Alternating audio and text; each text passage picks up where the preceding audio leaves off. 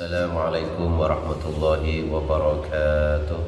بسم الله الرحمن الرحيم. الحمد لله رب العالمين. والصلاة والسلام على أشرف الأنبياء والمرسلين سيدنا محمد وعلى آله وصحبه أجمعين. أما بعد.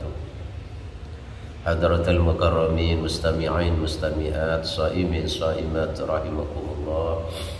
Alhamdulillah kami hari ini akan melanjutkan kajian kitab Syaraful Ummah Al-Muhammadiyah. Ta'lib Syekh Muhammad Alawi Al-Maliki Al-Hasani.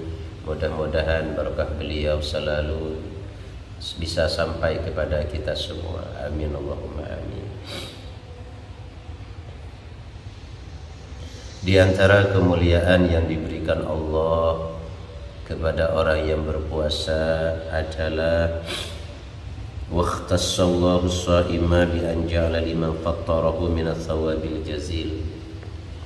Allah memberikan kekhususan bagi orang yang membantu memberi makanan minuman untuk berbuka puasa orang tersebut juga mendapat pahala yang besar Tamlim la yang ma la yang kusu min shaimi nafsahu tanpa mengurangi pahalanya orang yang berpuasa. Orang yang berpuasa mendapat pahala yang besar, begitu juga orang yang memberi makan minum untuk berbuka puasa. Oleh karenanya, mari kita bersama-sama di bulan suci Ramadan ini memperbanyak sedekah di antaranya dengan memberi makanan, minuman bagi yang berpuasa untuk atau buat berbuka puasa. Karena Rasulullah Shallallahu Alaihi Wasallam bersabda, "Man fattara iman fi Ramadan, barang siapa yang memberi makanan, minuman untuk berbuka puasa di bulan Ramadan, mingkas bin halal dari hasil usaha yang halal yang diberikannya, Sallat alaihi malaikatu layali Ramadan kullaha. Setiap malam Ramadan Para malaikat beristighfar Memohon ampunan kepada Allah Buat orang yang memberi makan dan minum ini Kepada orang-orang yang berpuasa. Yang kedua Wasafahahu Jibrilu laylatul qadar. Malaikat Jibril berjabatan tangan dengan orang tersebut yang memberi makan minuman pada malam Lailatul Qadar.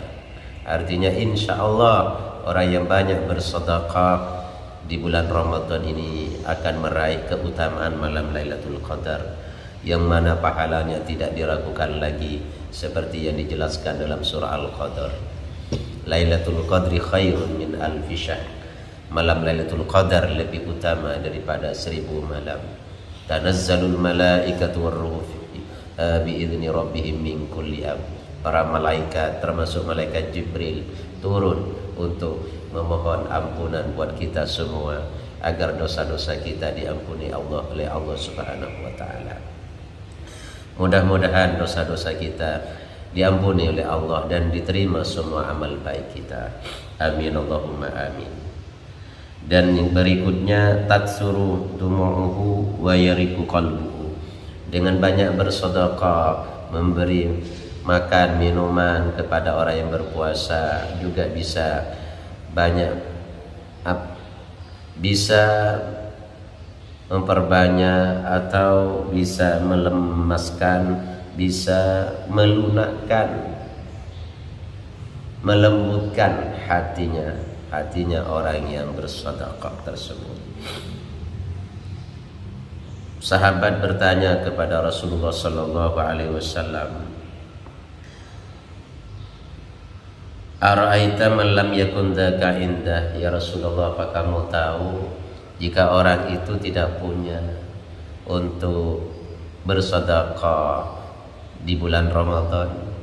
Rasulullah menjawab falukmatu khubs maka cukup dengan memberi sesuap berupa roti walaupun hanya berupa roti.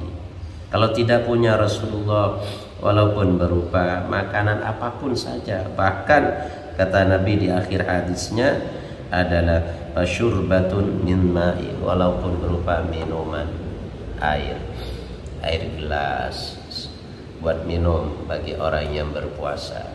Itu sudah cukup sudah mendapat fadilah keutamaan pahala yang besar ini oleh karenanya di hadis lain Rasulullah sallallahu alaihi wasallam bersabda, "Anna shaima idza ukila indahu lam tazal tusalli alaihi al-malaikatu hatta yufragha min ta'amihi." Artinya bahwa orang yang berpuasa apabila dia diberi makanan minuman oleh orang lain. Bahkan juga atau dia berbuka dari makanan sendiri para malaikat tidak berhenti-henti beristighfar memohon ampunan kepada Allah untuk orang yang berpuasa dan yang memberi makan atau memberi untuk berbuka oleh karenanya marilah di momen yang sangat utama ini di bulan Ramadan ini perbanyak kita semua bersedekah terutama memberi makan minum bagi orang yang berpuasa sehingga kita semua mendapat pahala yang cukup besar dari Allah Subhanahu wa taala. Sampai di sini yang bisa kami sampaikan. Mudah-mudahan bermanfaat. Rabbana fa'na bima 'allamtana wa 'allimna ma yanfa'una وزدنا علما. والسلام عليكم ورحمة الله وبركاته.